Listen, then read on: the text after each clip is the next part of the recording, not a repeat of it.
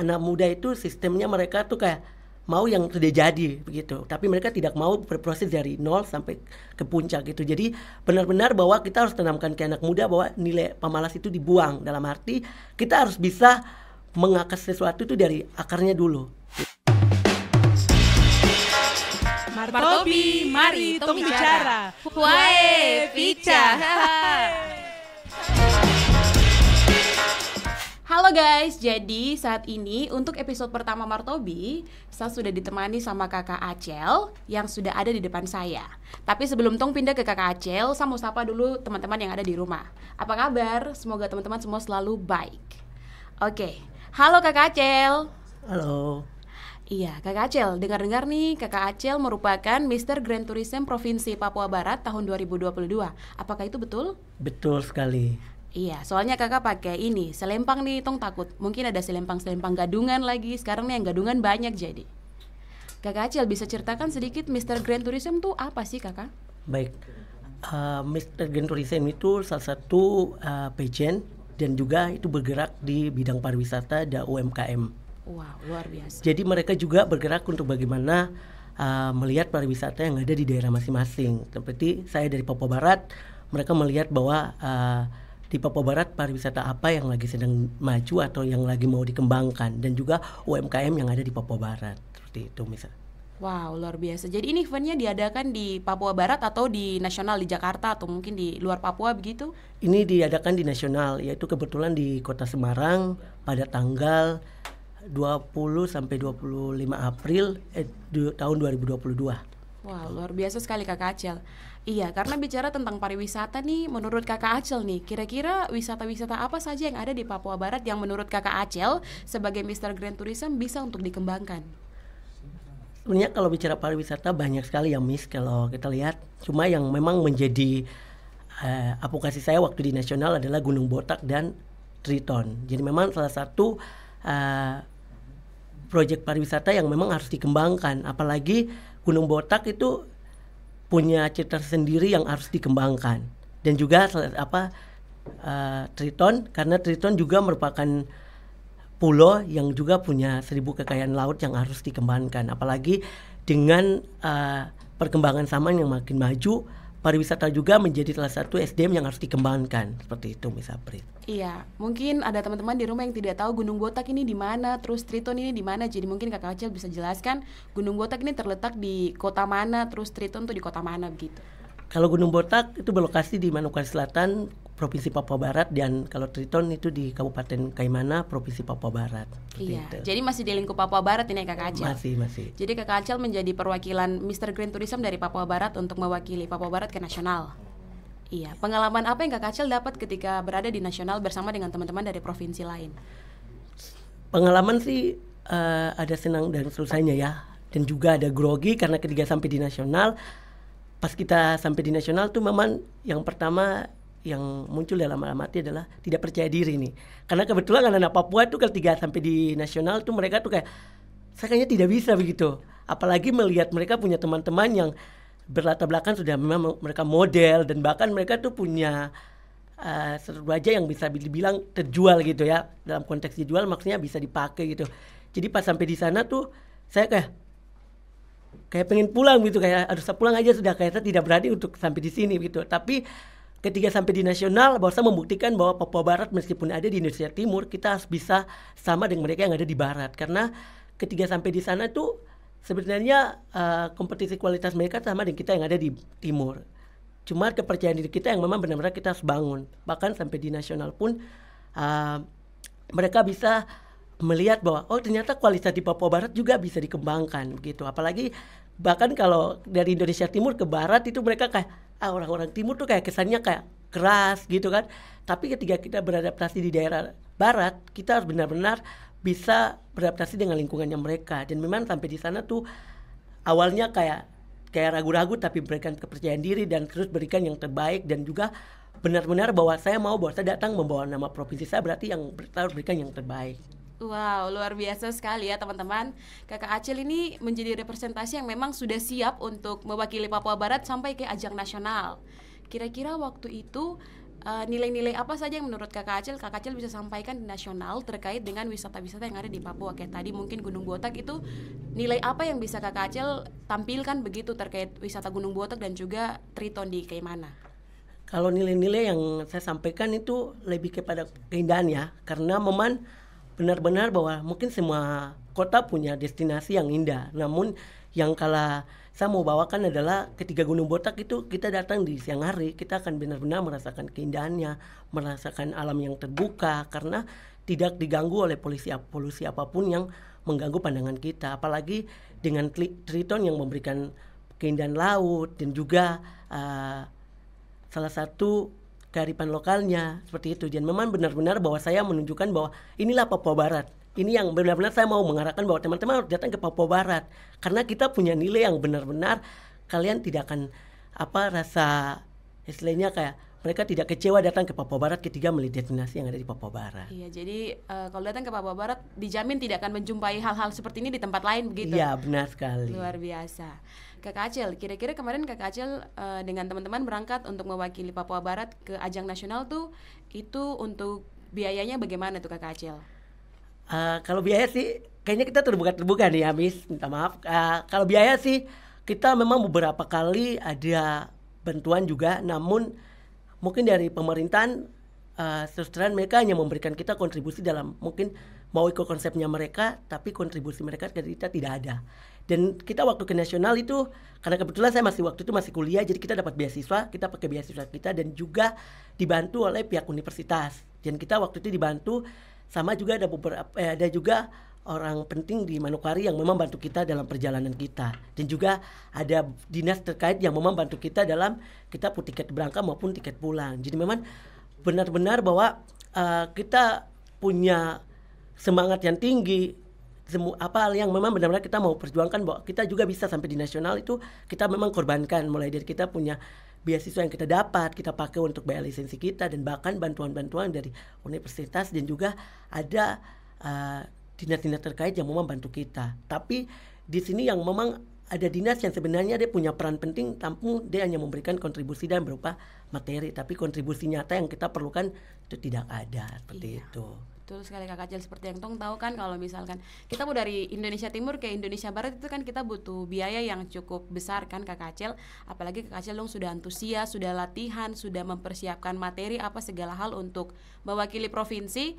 Tapi mungkin dari pemerintah sendiri tidak terlalu memberikan kontribusi yang cukup sehingga Kakak dong eh, berangkat ke sana. Tapi Kakak dong tetap semangat untuk mewakili provinsi seperti itu.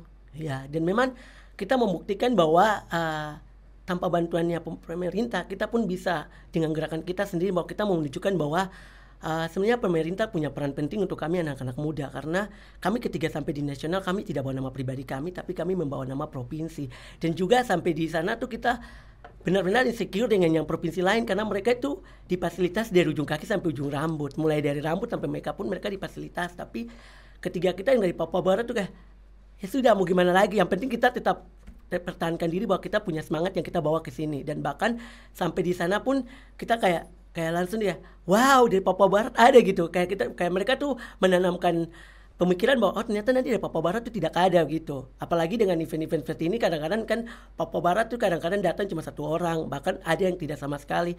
Tapi puji Tuhan waktu di yang kita pergi itu kita dua orang. Jadi benar-benar kita sampai di sana kita ikut segala sesuatu mulai dari dia punya waktu dan segalanya tuh benar-benar kita jalani dengan semangat. Meskipun kita tahu bahwa banyak kekurangan yang harus kita lengkapi begitu. Wow. Jadi teman-teman di rumah walaupun kakak Acel ini yang seperti teman-teman sudah dengar tadi eh, kontribusi dari pemerintah mungkin tidak terlalu besar ya kakak Acel, tapi kakak Acel dengan teman-teman tetap semangat untuk eh, membawa nama Papua Barat mewakili Papua Barat untuk sampai ke ajang nasional yaitu terpilih menjadi Mr. Grand Tourism Provinsi Papua Barat tahun 2022.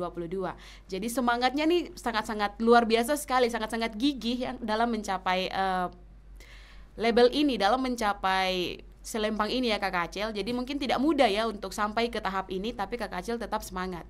Nah, Kakak Acel sebagai anak muda Papua, khususnya di Papua Barat, apa sih harapan Kakak Acel terkait dengan wisata-wisata yang ada di Papua Barat saat ini? kalau harapan dari kami anak muda destinasi yang ada di Papua Barat perlu dikembangkan dan harus selalu dikembangkan karena zaman sekarang teknologi makin canggih pergunakanlah teknologi kita untuk bagaimana mengembangkan pariwisata yang ada di daerah kita. Bahkan ada pariwisata yang sudah terkenal, ada pula yang belum terkenal. Mari kita sama-sama kembangkan pariwisata karena itu menjadi salah satu SDM yang akan memajukan daerah kita tersebut. Dengan pariwisata juga bisa dapat uh, membantu ekonomi kreatif kita yang ada di daerah tersebut. Seperti itu, Miss. Wow, luar biasa. Kak Acel, kira-kira untuk mengembangkan wisata nih, kalau tadi kita sudah bicara kelebihan-kelebihan, kayak mungkin ada nilai keindahan, nilai ekonomis, kira-kira kendala apa sih yang kita peroleh ketika kita mau mengembangkan wisata di Provinsi Papua Barat? Kendala terbesar begitu Kalau kendala Acel? kendala yang terbesar mungkin dari kita anak-anak muda uh, mungkin belum terlalu mencintai diri ya. Kenapa saya bilang belum mencintai diri? Karena anak muda itu sistemnya mereka tuh kayak mau yang sudah jadi begitu tapi mereka tidak mau berproses dari nol sampai ke puncak gitu jadi benar-benar bahwa kita harus tanamkan ke anak muda bahwa nilai pemalas itu dibuang dalam arti kita harus bisa mengakas sesuatu itu dari akarnya dulu gitu. Karena ketika kita sudah lihat potensi kita tapi kita tidak kembangkan, kita tidak pergerakan, nanti akan tetap begitu saja. Tapi ketika kita lihat kita potensi di daerah kita dan kita kembangkan, kita bersama-sama kerjasama untuk bisa kembangkan destinasi itu, akan dengan sendiri kembang di apa akan sendiri dia maju. Bahkan dengan kita punya teknologi yang ada, kita punya apa yang bagus, kita punya berikan fasilitas yang baik, kita kembangkan lewat teknologi itu. Karena teman-teman di luar sana mereka melihat kita punya destinasi itu lewat media sosial kita karena dengan media sosial itu orang di dunia lain pun bisa lihat bahwa oh, ternyata Papua Barat punya gitu. Bahkan tempat-tempat destinasi yang kita belum pergi, ketika kita bisa pergi dan kita tampilkan di media sosial, orang bahkan percaya bahkan yang satu cerita yang harus miss tahu bahwa ketika saya bilang di kayak mana punya pasir pring mereka tidak percaya gitu. Tapi ketika kita punya bukti dengan media sosial kita tunjukkan mereka bahwa wow ternyata Papua Barat juga punya gitu. Dan itu yang memang harus kita tanamkan bahwa kita cintailah diri kita dulu baru kita cintai lingkungan kita sehingga mudah untuk kita kembangkan pariwisata yang ada di daerah kita Wow, jadi hari ini saya juga baru tahu nih Kak Acel kalau ternyata Papua Barat juga punya tempat wisata pasir pink. Iya ada. Karena yang kita tahu selama ini kan mungkin di apa Pulau Kei kan ada pasir pink, tapi di Papua Barat ini tidak tahu. Kak Acel kasih tahu baru bisa baru tahu.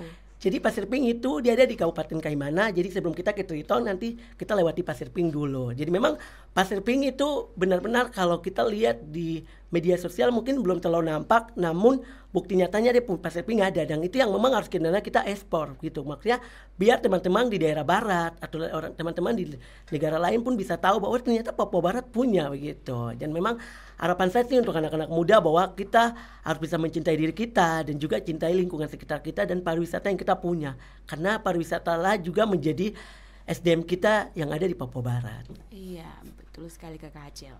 Jadi eh, kendala-kendala uh, yang memang terbesar tuh pertama dari diri sendiri ya Kak Acel Benar. mau bekerja atau tidak begitu yeah. kan? Karena sekarang kan anak-anak muda sekarang tuh mau kerja kalau ada uang boleh kalau tidak ada uang tidak mau kerja toh. Yeah. kegiatan pamalas kayak itu hey, jadi uh, mungkin ke depannya apa yang bisa Kak Acel sampaikan untuk teman-teman muda yang lagi nonton? Sampaikan untuk teman-teman muda apa sih yang teman-teman bisa lakukan supaya wisata di Papua Barat ini bisa dikenal oleh apa teman-teman di Indonesia Barat bahkan seluruh dunia apa yang bisa Kak Acel sampaikan untuk teman-teman di rumah yang ingin saya sampaikan untuk teman-teman di rumah bahwa uh, selalu memanfaatkan waktu kosong dan juga bisa melihat sekitar kita apa destinasi yang bisa kita kembangkan. Bahkan kalau kita lihat bahwa pantai pantai pantai Rendani itu bisa menjadi salah satu tempat destinasi, kenapa tidak kita kembangkan? Kembali dari diri kita, kembali ke tempat di mana destinasi itu berada. Karena itu akan menjadi uh, objek tersendiri bagi mereka yang ada di tempat tersebut. Karena memang berapa kali saya jalan keliling Manokwari dan memang selalu lihat kali banyak-banyak tempat yang sebenarnya orang menganggap itu biasa tapi kita bisa menjadikan itu modal, bisa menjadikan itu tempat uang gitu. Dalam konteks bahwa kita membangun dia menjadi tempat yang bagus dan berkunjung uangnya masuk ke kita di masyarakat sekitar situ. Nah memang itu yang harus kita kembangkan dan tanya tekankan bahwa pariwisata juga menjadi SDM untuk di daerah kita sendiri. Apalagi di Papua Barat ini banyak sekali destinasi yang belum dikembangkan secara baik. Mereka hanya mengembangkan hari ini dong kembangkan sudah selesai di, kembali redup. Sebentar ada lagi dong kembangkan diredup tapi bagaimana destinasi itu terus berjalan. Nah itu yang kami bilang bahwa kita harus cintai diri kita sendiri maka kita bisa mencintai lingkungan sekitar kita dan destinasi yang ada di daerah kita. Wow luar biasa sekali ya. Singkat padat dan jelas begitu yeah. Kak Acil sudah sampaikan Kalau menurut Kakak Acel nih, kayak selama ini kan orang kalau tahu ke Manokwari itu pasti ke Pulau Mansinam atau tidak ke Pantai Pasir Putih. Itu menurut Kakak Acel bagaimana tuh perkembangan Pantai Pasir Putih sebagai pantai wisata ataupun Pulau Mansinam? Selama ini kan orang kalau ke Mansinam tuh pas event 5 Februari saja tahu baru mungkin dibersihkan. Terus uh, Pantai Pasir Putih juga orang berkunjung tapi kayaknya macam pantai dari dulu sampai sekarang begitu-begitu saja tidak ada perubahan. Itu menurut Kakak Acel bagaimana tuh? Kalau kita bicara Pulau Mansinam, mungkin pulau itu kita terkenal dengan Pulau Injil. Namun sebenarnya Pulau Mansinam itu bisa menjadi tempat uh, diving atau istilahnya uh, kita bisa molo untuk lihat keindahan laut karena Pulau Mansinam sendiri juga punya keindahan laut tuh luar biasa. Bisa wisata bawah laut. Iya. Wow. Gitu. Jadi Maman berapa kali uh, dengan ada kakak kita diving di dalam laut kita molo juga kita lihat dan benar-benar saya bilang wah ternyata Pulau Mansinam juga punya gitu dan memang itu harus bener, kita harus bisa kembangkan karena bukan saja Pulau Mansinam, Pulau Lemon juga bisa kembali lagi ke diri kita yang saya bilang bahwa kita cintai diri kita, cintai lingkungan sekitar dan jangan kita buang sampah ke laut sehingga tidak merusak alam yang dalam laut. Ekosistem bawah laut. Benar sekali. Wow. Bahkan kalau di Pasir Putih kalau datang cuaca bagus, pasirnya bersih. Cuaca lagi buruk, sampah berserakan. Nah, itu kembali ke diri kita. Bagaimana kita bisa menjaga lingkungan sekitar kita sehingga dampaknya tidak berpengaruh ke pariwisata yang ada sekitar kita. Manokwari bahkan punya tempat pariwisata yang kita bisa bilang ada Amban Pantai, ada Pantai Piri, Pantai Bakaro. Itu yang sebenarnya harus kita kembangkan. Tapi bagaimana cara kita kembangkan yang saya bilang bahwa kita cintai diri kita, cintai lingkungan sekitar kita, maka pariwisata yang ada di sekitar kita tidak akan berdampak buruk dengan pengaruhnya buang sampah sembarangan, akhirnya mencemari tempat-tempat wisata. Orang mau pergi tidak mungkin tidak akan mungkin yang mau pergi kalau tempat itu tidak tidak bersih. Pasti kalau bersih pasti pergi. Nah itu yang harus kita memang bahkan saya lihat di Pasir Putih itu mereka belum menerapkan tujuh sabta persona. Tujuh sabta persona itu gunanya untuk bagaimana pariwisata itu bisa dikembangkan tuh dengan tujuh sabta persona itu. Keadaan aman, bersih, tertib, disiplin dan segalanya seperti itu, Mir. Iya, jadi kalau misalkan tadi Kak Acel bilang kayak pasir putih itu orang pergi kunjungan kalau cuaca bagus, pasir bersih, kalau cuaca terlalu bagus, pasir terlalu bersih, kotor begitu. Itu kira-kira siapa yang berperan penting itu Kak Acel untuk mengatasi hal-hal seperti itu kayak sampah berserakan di mana-mana itu menurut Kak Acel siapa yang berperan penting untuk mengatasi hal seperti itu? Yang berperan penting masyarakat di sekitar kita dan juga masyarakat yang berkunjung dan bahkan pemerintahan. Karena pemerintah punya peran penting dan itu juga menjadi salah satu objek wisata yang ada di Manokwari. Nah, peran penting masyarakat sekitar situ mereka harus selalu menjaga untuk tidak membuang sampah di laut dan mereka yang berkunjung juga jangan membuang sampah di laut karena ketika tidak ada perhatian tersebut maka mereka hanya dengan senaknya buang sampah begitu saja. Terus sampah itu tidak mungkin ada ketika manusia tidak melakukan aktivitas di situ. Nah ketika kita bicara sampah berarti kita bicara manusia. Karena sampah itu ada karena aktivitas manusia. Nah kembali lagi ke manusia saya bilang bahwa mencintailah diri kita dan cintai lingkungan sekitar kita sehingga kita tidak membuang sampah lagi di lingkungan sekitar, tapi mari kita buang sampah pada tempatnya. Masa mantan saja tuh bisa tinggalkan di tempatnya, sampah tidak. Iya, iya. Berarti untuk menjaga lingkungan tetap bersih nih tidak perlu kesadaran diri, eh, perlu kesadaran diri dari kita masing-masing ya. Yeah. Jadi dari diri kita sendiri kalau kita berkunjung ke suatu tempat, kita harus tahu diri bahwa kalau kita bawa sampah, kita harus bawa pulang lagi kita buang di tempatnya mantan saja bisa taruh di tempat sampah. Eh salah. Mantan saja kita bisa buang kita bisa lepas apalagi sampah gitu. Tapi ya. harus tetap ada tempat tempatnya, tempatnya iya. Jadi kayak tadi uh, pemerintah juga berperan penting karena ada dinas-dinas yang berkaitan dengan uh, lingkungan hidup gitu. Jadi mereka memang harus uh, bersama-sama dengan anak-anak muda supaya harus tetap menjaga lingkungan kita tetap bersih. Apalagi terutama tempat-tempat wisata yang ada di Manokwari atau iya. bahkan bukan di Manokwari tapi di Papua Barat seluruhnya di semua kabupaten kota yang ada di Papua Barat supaya tong punya lingkungan ini tetap bersih dan tempat-tempat wisata yang ada bisa kita kembangkan.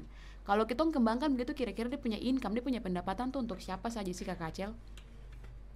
Pendapatan uh, untuk yang saya lihat ya, yang kalau pasir putih sih saya belum lihat terlalu dampaknya pendapatan untuk ke pemerintahan. Namun pendapatan yang untuk dapat mungkin sekitar masyarakat di sekitar itu karena memang benar-benar mereka yang selalu membersihkan mereka yang mereka, mereka yang kelola. Jadi kalau harapan saya sih ketika pemerintah juga ber, berkontribusi untuk bagaimana uh, membantu untuk membersihkan pantai sehingga uh, kontribusi dalam berupa uang itu bisa dibagi dua antara pemerintah dengan masyarakat, masyarakat yang setempat. mengelola situ karena itu yang bilang bahwa dia akan menjadi SDM untuk masyarakat sekitar kita karena pariwisata juga ketika kita kembangkan dengan baik pengunjung akan datang juga pemasukan untuk kita di sekitar destinasi itu juga bertambah. Iya, berarti banyak sekali nih tempat-tempat wisata yang ada di Manokwari yang sebenarnya bisa dikembangkan, tapi karena masyarakat tidak terlalu apa ya, tidak terlalu kita mau bilang tidak terlalu mampu juga salah, bukan tidak terlalu mampu tapi tidak terlalu lihai untuk uh, mengelola tempat wisata tersebut.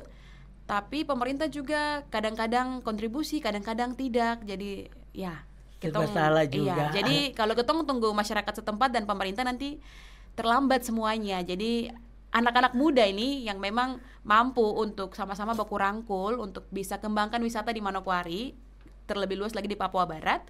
Mari itu baku rangkul. Kakak Acel harapannya Kakak Acel untuk anak-anak muda di Papua Barat apa nih untuk ke depannya eh, terkait dengan tempat wisata nih? Harapan untuk saya untuk anak-anak muda di Papua Barat untuk destinasi pariwisata uh, selalu menjaga semangat dan selalu kembangkan pariwisata karena pariwisata juga salah satu SDM yang harus dikembangkan lebih maju sehingga di mata dunia juga bisa melihat bahwa Papua Barat juga punya segala destinasi yang luar biasa. Iya, luar biasa sekali Kak Kacil sangat menginspirasi anak-anak muda untuk tetap semangat, untuk tetap uh, tidak malas-malasan supaya bisa mengembangkan wisata yang ada di Provinsi Papua Barat khususnya di Manokwari.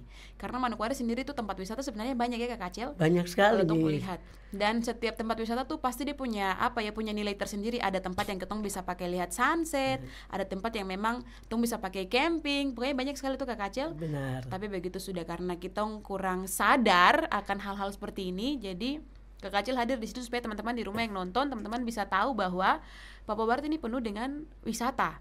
Cuma ketong kurang sadar saja untuk sama-sama baku rangkul supaya ketong kembangkan wisata itu menjadi sesuatu yang lebih baik untuk dikenal masyarakat Indonesia bahkan seluruh masyarakat dunia. Seperti itu Kak Kacel. Benar sekali. Oke, luar biasa sekali. Jadi teman-teman di rumah untuk episode pertama ini dengan Kakak Acel sampai di sini saja. Kita akan muncul lagi dengan narasumber-narasumber kreatif lainnya yang juga menginspirasi anak muda di episode-episode selanjutnya. Martobi, mari tong bicara. Wae, Pica.